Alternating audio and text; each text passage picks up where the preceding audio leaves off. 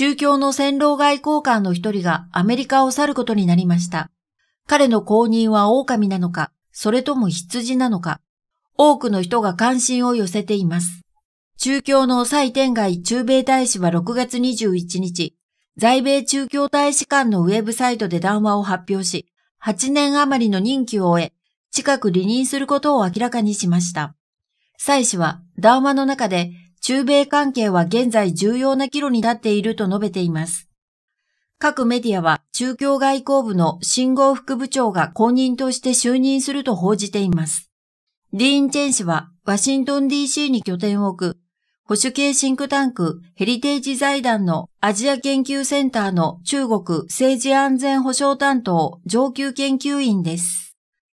ボイスオブアメリカとのインタビューでチェン氏は新大使の就任に伴いワシントンはより激しい衝突に直面する可能性があると語っています。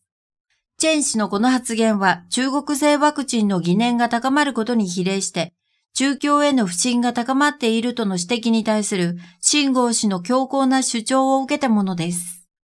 今年2月9日の記者会見でドイツ人記者の質問に対し、秦剛氏は次のように答えています。あなたは今、中国は戦狼外交を行っていると言いましたね。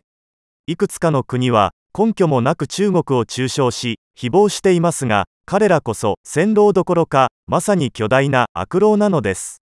那他们恐怕都不能用战狼来形容了。那就是恶狼了。秦剛氏が外交官としてのキャリアをスタートさせたのは、今から約30年ほど前の1992年でした。中英中共大使館の講師を経て2018年に外交部副部長に昇格しました。また近年は習近平総書記が海外訪問する際に頻繁に同行しています。ブルームバーグのレポーター、ピーター・マーティン氏はラジオフリーアジアの取材を受けた際に、新豪氏の大使任命が確定すれば、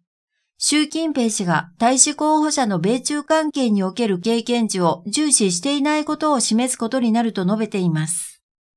またマーティン氏は、このような国では専門的な経験よりも政治的な信頼度の方が重要かもしれないと述べ、そのことが実際に人事に反映されていると指摘しています。時事評論家の東清園氏は、新豪氏が中米大使に就任した後、戦狼になるか、それとも羊としての姿勢を取るかを定める要因は、習近平氏の二国間政策にあると指摘しています。習近平氏が外交において挫折感を感じていれば手を引いて目立たないようにすることもできます。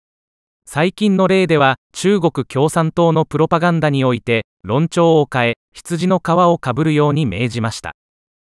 新豪氏は以前、アメリカ空軍の B52 戦略爆撃機をハリコの虎と表現しました。紳士のこれまでの発言の中から、金言と呼ばれる言葉をすでに収集し始めたメディアもあります。